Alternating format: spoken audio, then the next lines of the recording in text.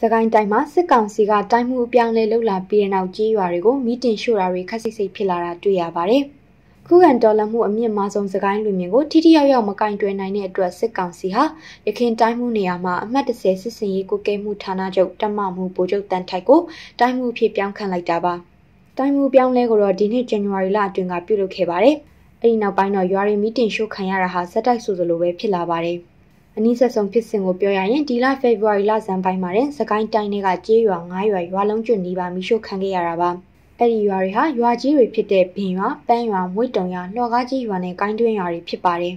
ဒီလိုမီးတင်ရှို့ခံရတဲ့ရွာတွေဟာဘုံနဂါဥဆောင်ပြီးစစ်ကောင်စီကိုခုခံတော်လှန်နေတဲ့ပလဲနယ်တွေကရွာအများစုပါဝင်တာကိုတွေ့ရပါတယ်ပလဲနယ်ဟာစစ်ကောင်စီတပ်မြေပြင်မှာအထိနာနေတဲ့ဒေသတစ်ခုပါ စစ်ကောင်စီကရွာရီမီရှို့နေပြီးချင်းကြီးတော်တော်မကောင်းဘူးလို့ဘုန်းနဂါကလေးတို့ຫນွေဦးကိုဖေဖော်ဝါရီလဆန်ကအခုလိုပြောပါတယ်ကျွန်တော်တို့ဒီဘက်မှာကစစ်ကောင်စီကဒီကနေ့ဆိုယာနဲ့ချီတဲ့အင်အားတွေနဲ့ဝင်နေဟိုရက်တွေကနေစပြီးတော့ရွာတွေမီးရှို့တယ်ဒီခုဆို3ရွာလောင်သွားပြီအိမ်ကြီး400ကျော်900လောက်3ရွာပေါင်းဆိုရင်500ထက်မှပါသွားပြီဒါကွက်ကြားသောသောရှို့တာတွေအလွတ်เนาะကျွန်တော်တို့တိုက်ပွဲဖြစ်တဲ့အချိန်တွေရှို့တာအလွတ်မနေ့ကနဲ့ ဟိုတမြန်နေ့ကမှနှစ်ရက်ထဲတင်အင်ဂျင်900ကျော်သွားပြီ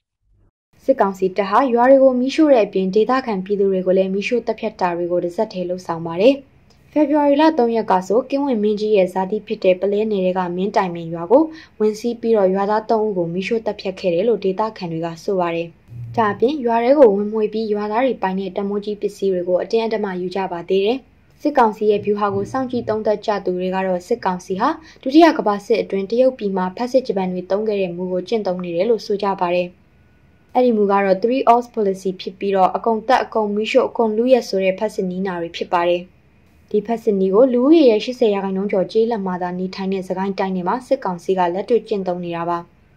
ပြီးခဲ့တဲ့တစ်နှစ်တာကာလအတွင်းစကိုင်းတိုင်းမှာစစ်ကောင်စီမီးရှို့ဖျက်ဆီးခဲ့တဲ့ရွာတွေအနက်နေအိမ်အလုံး90အောင်မီးရှို့ခံရတဲ့ကြေးရွာပေါင်းက80ကျော်လောက်ရှိတယ်လို့ Data for Myanmar အဖွဲ့ကစာရင်းပြုစုထားပါတယ်